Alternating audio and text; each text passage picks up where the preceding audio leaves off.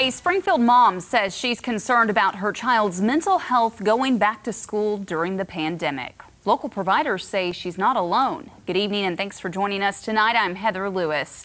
Our David Chazanov spoke with Burrell Behavioral Health and the Ozarks Counseling Center. David, how busy have they been during this health crisis?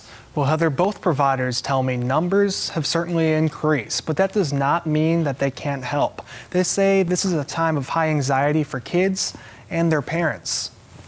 Christy Cross's daughter Emily goes to Cherokee Middle School in Springfield. My daughter has ADHD and an IEP and anxiety issues, and she's being required to wear a mask all day. So there's there's that issue. This school year, the eighth grader chose to take in-person classes two days a week and learn virtually three days a week. You're talking about a child who already has enough struggles self esteem, traumas, you know, all these things in her life. And then we're going to throw this on her and then not have, have her around her friends and with her teachers. Luckily for Christy, a single mom, Burrell Behavioral Health has been helping her daughter cope with stressful life changes. Amy Hill says Burrell offers therapy, support specialists, and psychiatry, mostly through Zoom, but face to face can happen if appropriate. If we have a parent or a student who's interested in accessing our school based services, they can certainly do that through, through a variety of ways like reaching out to their school counselor or administrator, going to Burrell's website, or calling its main line. Here in Southwest Missouri, it's 417 761 5000. We work with all funding sources.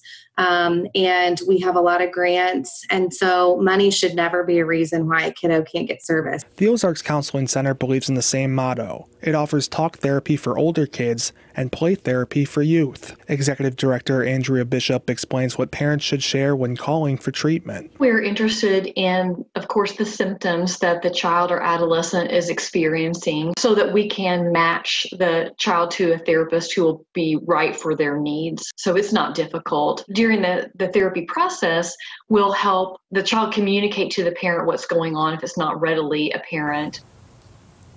Mercy also has a virtual mental wellness kids program, which means kids who need to see a mental health specialist have immediate access via a video visit. But more often than not, providers can help without the need for a video call.